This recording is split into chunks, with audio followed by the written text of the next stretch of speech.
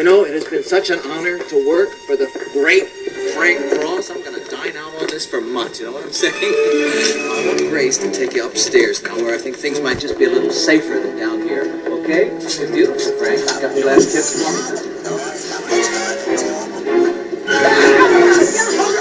All right, come on, come on, come on!